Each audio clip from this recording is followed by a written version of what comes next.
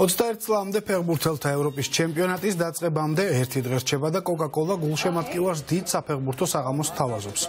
პოლენათა ეპიცენტრი თბილისის დედაენის ბაღია, სადაც ამ წუთებში უკვე მიმდინარეობს საზეიმო ღონისძიებები, მათ შორის ევროპის 21 წლამდე ჩემპიონატის თასის ოფიციალური ღონისძიებაც.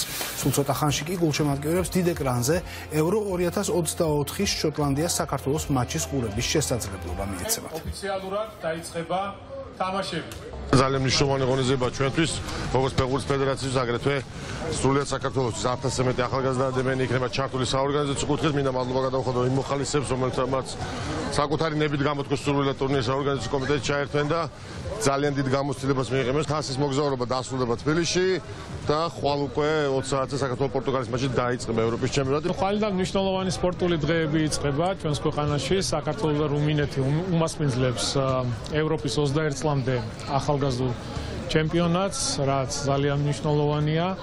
მინდა ვისარგებლოს შემთხვევით მადლობა გადაუხადო UEFA-ს, მინდა მადლობა გადაუხადო ფეხბურთის ფედერაციას. ჩვენი ქვეყნისთვის მნიშვნელოვანია ზოგადად ასეთი მასშტაბური ტურნირების ჩატარება, იმიტომ რომ კიდევ ერთი ძალიან კარგი შესაძლებლობაა იმისა, რომ სოფლიოს გავაცნოთ აა ჩვენი ქვეყანა